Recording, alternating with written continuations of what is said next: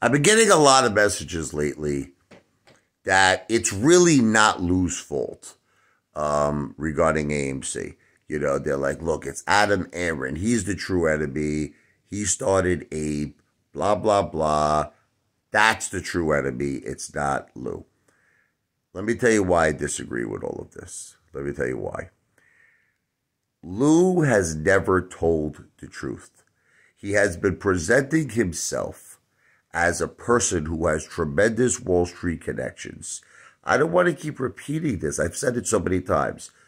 Remember when he said, I got turned down, I turned down, Lou said, I turned down more money than any one of you would have ever turned down. In other words, a, a corrupt bank went to Lou and offered him more money than he was going to make on the AMC MOASS. He says, I turned it down. He said he had a witness that could verify it. He said, I would never go against retail. They offer, so in other words, they, the impression that Lou gave is that they offered him many, many millions of dollars. Because, right, that's what he was predicting at one point he was going to make on the AMC MOASS. So, in other words, according to Lou, this corrupt bank approached him, and people believe believe this story. They offered him multi, multi millions of dollars, and he turned it down. He goes, I'll never go against my eight brothers, my eight sisters. I'll never go against retail. Lou, like, this is what I'm trying to make you understand. He presents himself like he's, I don't even know, like he presents himself like he's Warren Buffett. That's how he presents himself. Like he can just walk away from two million dollars or three million dollars. Say bye bye. I don't. I don't need it. He he made claims like he didn't even need his AMC MOASS money. He made claims like this. He says, I don't need the money the, regarding AMC. I don't need my AMC money. I'm giving it away to a special person. He goes, I'll always make money. I'm fine. Can't you read between the lines? Are, are you guys really this stupid with Lou? I mean, seriously. The reason why he doesn't need his AMC MOASS money is because he never had any AMC MOASS money because he never invested in AMC. He never invested in GTII. The real money that Lou is making comes from YouTube. It comes from YouTube ad revenue. So the whole thing with Lou is he's a storyteller. You you ever go to a movie and have you ever watched like a science like fiction movie or some so some sort of fiction? Okay.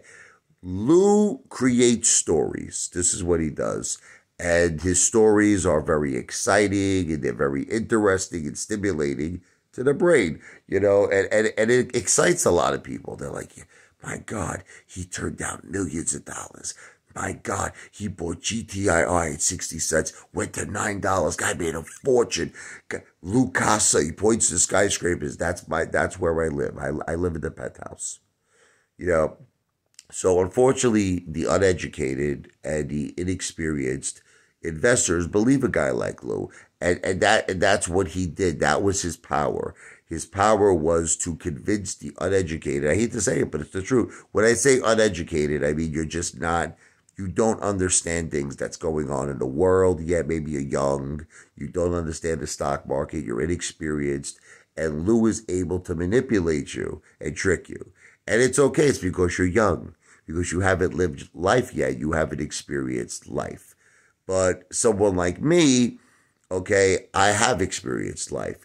I understand things and I've been around the block. And Lou can't trick me. And I am telling you, there is no question in my mind that Lou never invested in AMC. Lou never invested in, in anything. In GTII, Sundial, Clove, it's all talking points. He needs subject matter to make YouTube videos, in essence, to get YouTube views and subscriptions. That's where he's making his money. And he did make money. He did. He made money from YouTube. He paid off the restitution of the $73,000 that he robbed. And that's another from senior citizens, uh, innocent senior citizens. Now, that's another thing. He claims he has 20 years of Wall Street experience, yet he needs to rob $73,000 from, from innocent senior citizens. Once again, something that doesn't make sense. But it's like none of you questioned it. None of you question Lou. You just keep listening blindly to whatever he says. I mean, I'm convinced at this point that Lou could say anything. Lou could say that he just bought Trump Tower. he could say, listen, I, I, I contract. Donald Trump has moved to Mar-a-Lago. I just bought his penthouse. I am living in Donald Trump's, you know, very good. He, he, he convinced people that he was very good friends with Melania Trump, the, the former first lady, Donald Trump's wife. Okay. So I'm convinced that Luke could say something like this. Luke could just say, listen, Donald Trump's living in Mar-a-Lago. I just purchased, you know, his penthouse on the 66th floor of Trump Tower. I that that's Casa now. And I know that you're all laughing. There are people that will believe it. And I'm not talking about a small amount of people, a large amount of people. So it's just completely amazing how much this guy could just hustle, manipulate, and trick all of you. It's crazy. This video is not financial advice. I don't give financial advice. I'm an entertainer. This video is for entertainment purposes only.